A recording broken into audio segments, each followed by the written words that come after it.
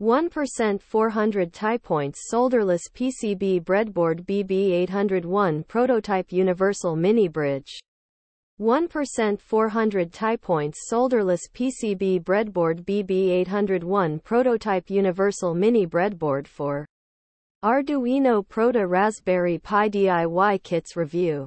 A breadboard is a prototyping tool that allows electronic components to be connected together temporarily without soldering. This makes it easy to test out different circuits and configurations without having to commit to a permanent design. The 1% 400 tie-points solderless PCB breadboard BB801 prototype universal mini breadboard for Arduino Proto Raspberry Pi DIY kits is a great option for hobbyists and makers who want to get started with electronics prototyping. This breadboard has a total of 400 tie points, which is more than enough for most projects. The tie points are arranged in a grid pattern, making it easy to connect components together.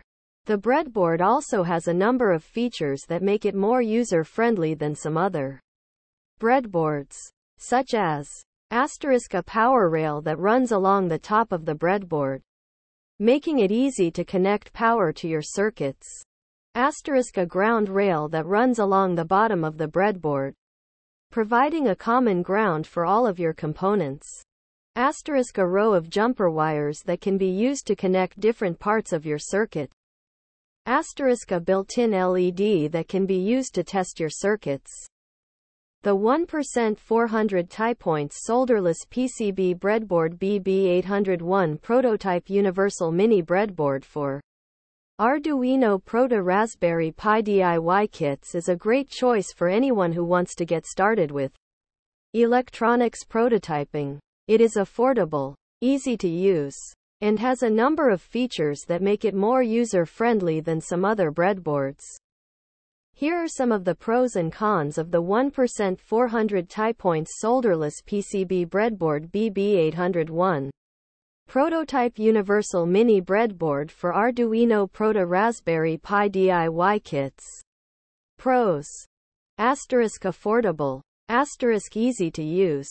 Asterisk has a number of features that make it more user-friendly than some other breadboards. Asterisk comes with a number of jumper wires. Cons. Asterisk the plastic housing can be a bit flimsy. Asterisk the tie points are a bit close together which can make it difficult to work with larger components. Asterisk the breadboard is not as durable as some other breadboards.